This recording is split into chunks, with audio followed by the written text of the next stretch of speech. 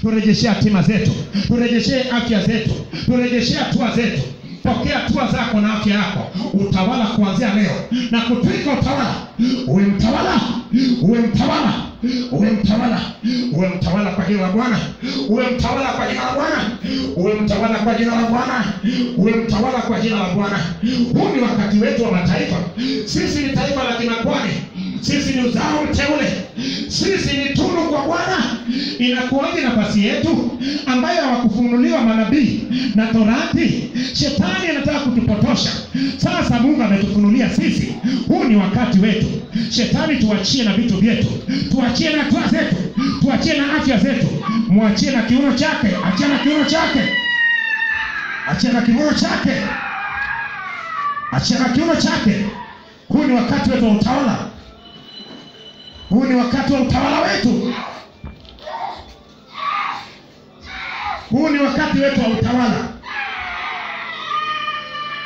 Ndiyo maana manabii na Torati hawajaongelea habari za kipindi hichi cha mpito. Tumefunuliwa sisi.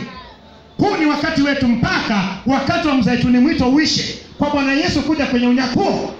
Ninatoa kila utawala ndani yako kuanzia sasa, wewe na familia yako, utawala iwe ni wa Yesu Kristo ndani yetu, maana tunapompokea Kristo Yesu ufalme wa Mungu unakuwa ndani yetu. Ufalme wa Mungu ikutawale wewe, maana wote waliompokea Yesu Kristo wamefanyika kuwa ni watoto wa Mungu ama wana wa Mungu, na wao ndio wanayetawaliwa na Mungu. Ufalme wa Bwana uliyesemwa na Yesu ya kuwa tubuni, maana ufalme wa Mungu umekaribia.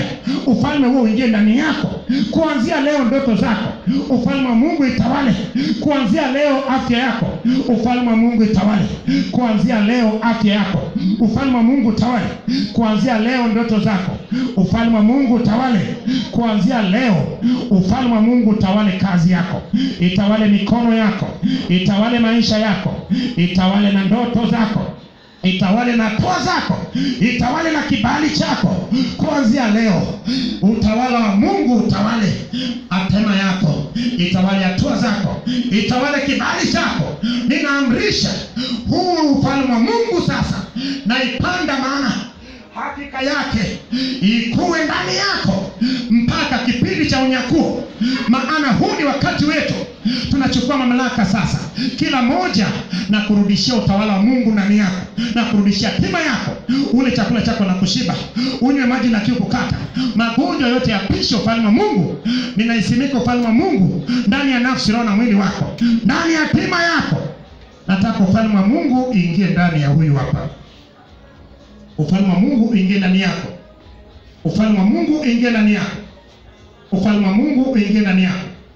Ufalme wa Mungu iondoe falme zote, na Baba anatukuza jina lako, tukiwa Baba wa rehema katika maandalizi ya Baba kunyakuliwa kama Baba kanisa la Bwana, maana imeandikwa, mjui kabisa kwa mili yenu.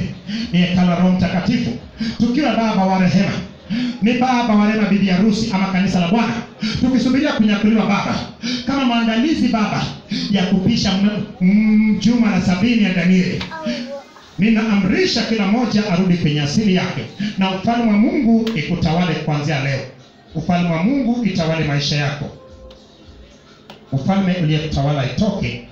Na mimi najenga ukuta kati yako na ufalme wa mpinga Kristo ama shetani na ufalme wake. Mamlaka yake itakuwepo kwenye nusu ya mwisho ya juma ya mwisho ya Danieli. Nami naondoa mabaya yote, uumbwe tena upya, hatua zako na kibali, na kusanya roho zote chafu na zitupa kuzimu. Na Baba, asante kwa ajili ya kuleta ufalme wako na kutufunulia hawa watu wako, wale chakula chao na kushiba, wanywe maji na kiu kukata, na jina lako litukuzwe ndani yao, katika jina la mzee wa siku, na mtu mmoja aseme haleluya. Pigia Bwana makofi makubwa.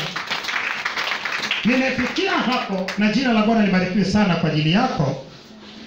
Hongera sana wewe uliokuwepo. Mimi nimepitia yale yale ambayo Bwana ametufundisha, sikutoka nje ya hapo. So uwe na amani